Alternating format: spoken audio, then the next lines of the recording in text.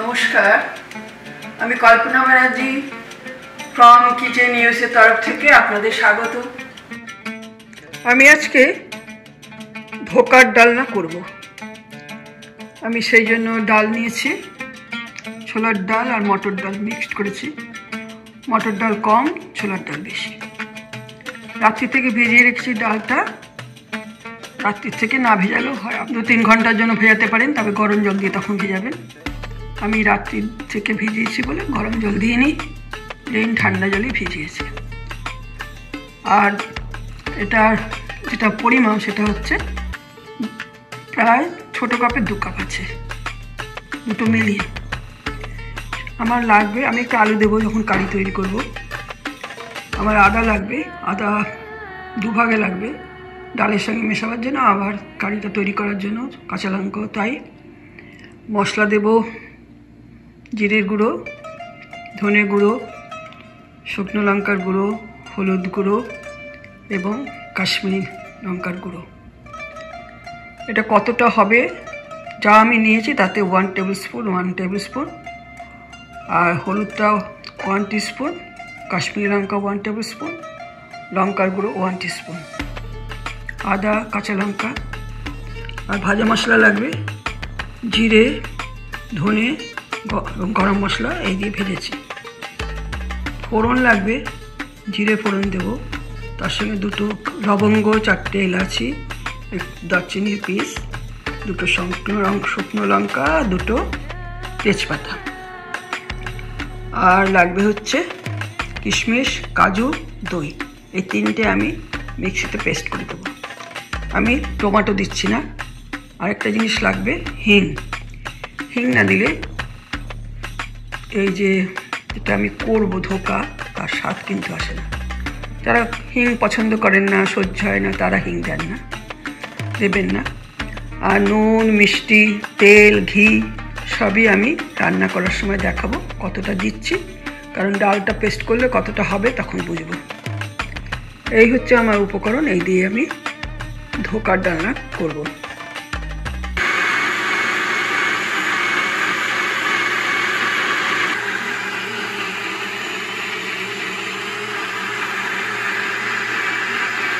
ডালটা বাটা হয়ে গেছে। এখন এক এক করে মশলাগুলো দেব। প্রথমে দিচ্ছি হিং, ওয়ান টিস্পুন দেব। হিংটা পুরনো।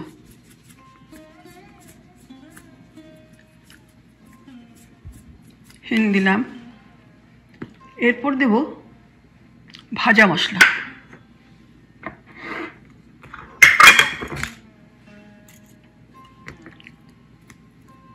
ভাজা মশলা দিলাম।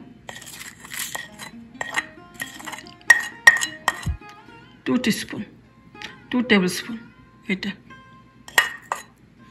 জিরে, ধনে, গরম মশলা। এটা দিলাম। এবার দেবো আদা। টু টেবিল স্পুন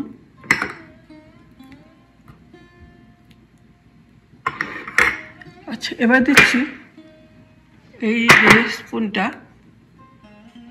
এই স্পুনের ওয়ান অ্যান্ড হাফ সু সল্ট নুন দিলাম। আর থ্রি থ্রি স্পুন সুগার দিলাম। মানে ডাবল। দেড় হচ্ছে নুন, তিন হচ্ছে চিনি। দিয়ে দিলাম। এখন এটা খুব ভালো করে আমি পেস্ট করব। একটু ফাঁপাবো।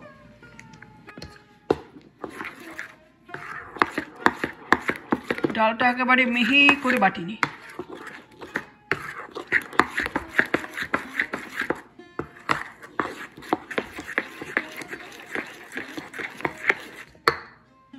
ডালটাকে আমি পেস্ট করব আর একটু করি। তেলটা বসালাম। Four tablespoon cooking oil দিয়েছি। এখন আমি ওই যে পেস্টটা করেছি, ডালের, সেটা তেলে ভাজবো।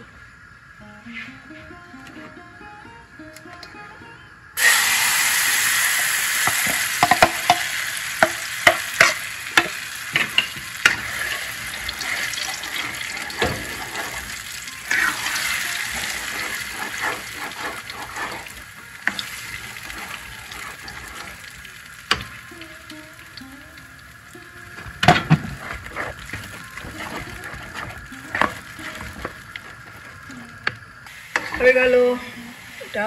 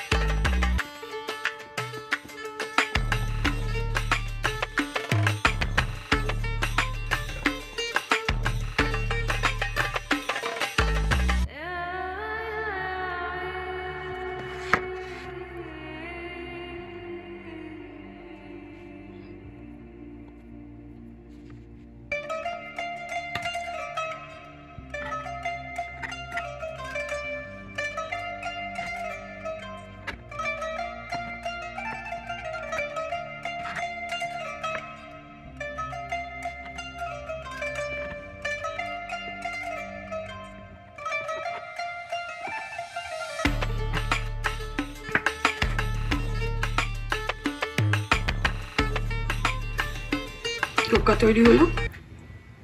এবার পরের স্টেপ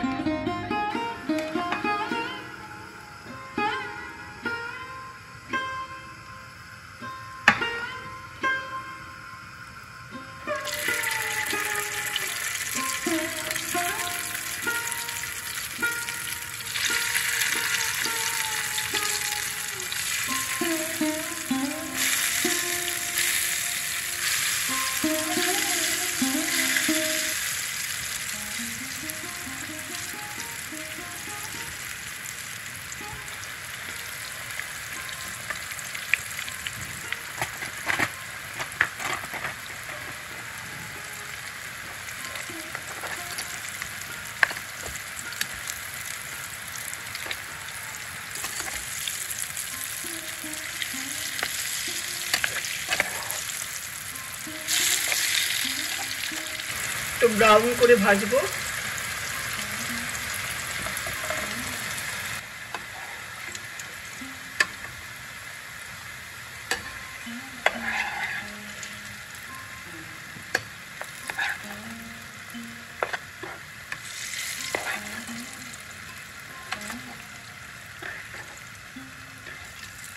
কিশমিশ দই আর কাজু বাদাম পেস্ট করে নিলাম।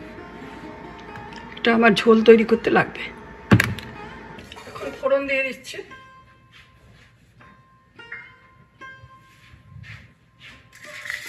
তেজপাতা, লঙ্কা, জিরে, এলাচি, লবঙ্গ।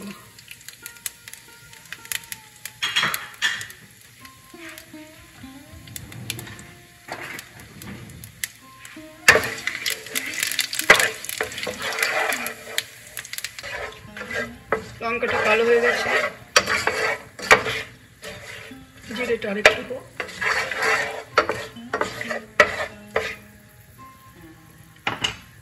এবার আমি আলুটা ভেজে নেব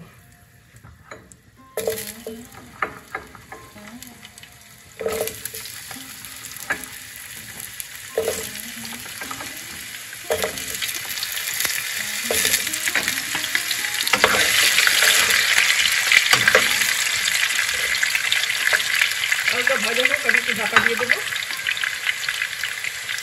ঢাকাটা দিয়ে দিই দু মিনিট রাখি। আলুটা ভাজা হয়ে গেছে।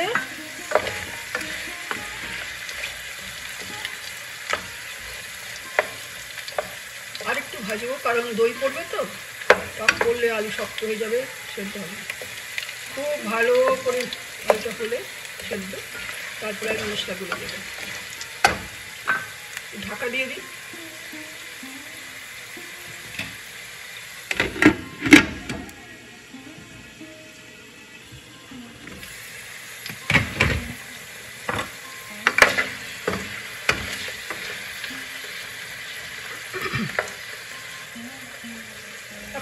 মশলাগুলো দিচ্ছি।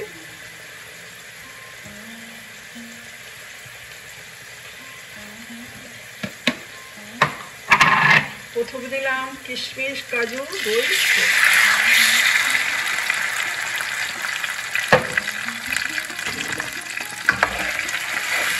ভালো করে নাড়তে হবে। কাজু আছে, সেজন্য লেগে যেতে পারে।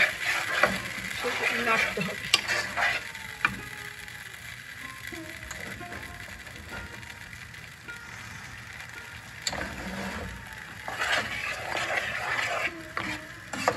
এর মধ্যে আমি আদাটাও দিয়ে দিলাম।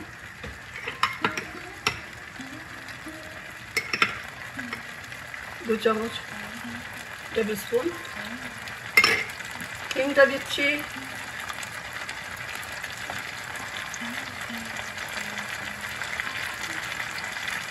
ওয়ান ফোর্থ টিস্পুন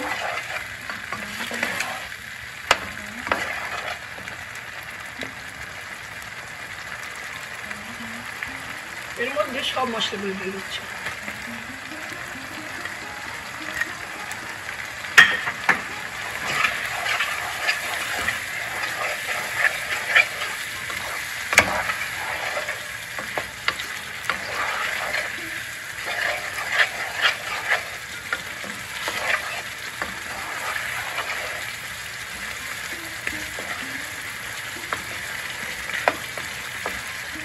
সল্ট দিয়ে দিই ওয়ান অ্যান্ড হাফ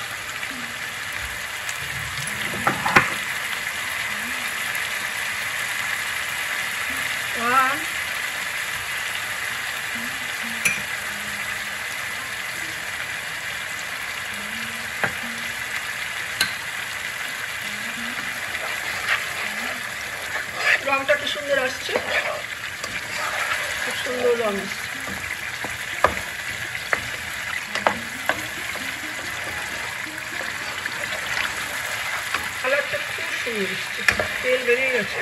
কিন্তু আমি এখন একটু জল দেবো।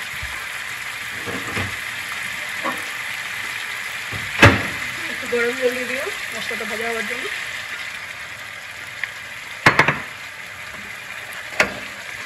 জল দিলাম।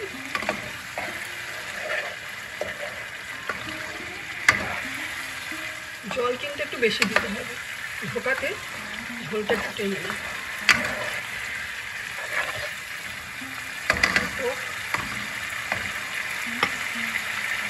আর একটু গরম জল করে দিলাম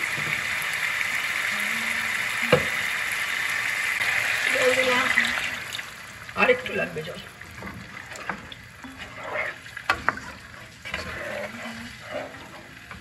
আবার জল দিলাম। এই বাটিটার এক বাটি জল দিয়েছি। ঢোকাতে টানবে বলে। নুন দেওয়া হয়ে গেছে। মিষ্টিটা আমি পরে দেবো। ঢেকে দিই। ফুটুক আলুটা সেদ্ধ হয়ে গেছে এবার ধোকাটা দিই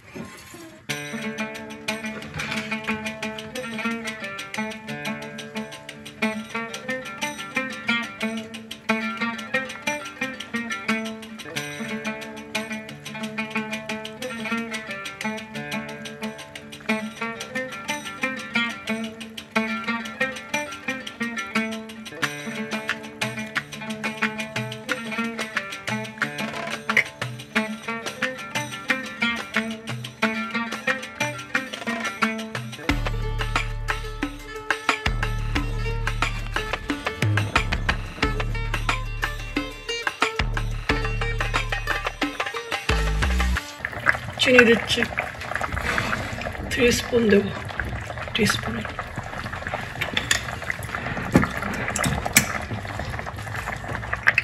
ওয়ান টু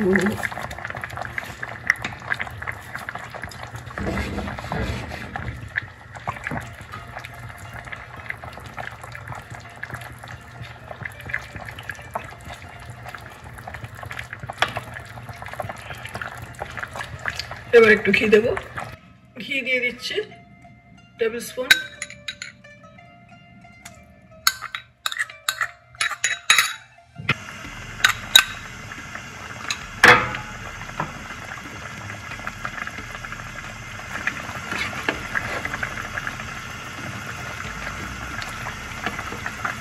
কাঠদানার আপনাদের পরে দেখাচ্ছি ঝোলে দিলে তো ধোকাও ভাঙেনি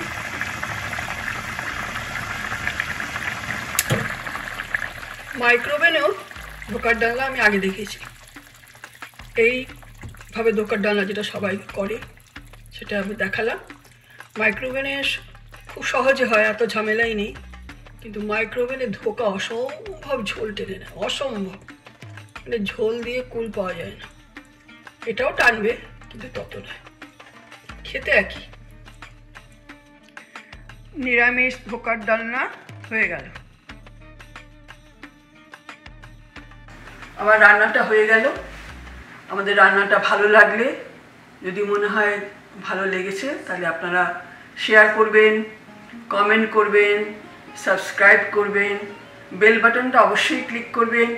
আমাদের সঙ্গে থাকবেন, অনেক ভালো থাকবেন, সুস্থ থাকবেন, আনন্দে থাকবেন। নমস্কার।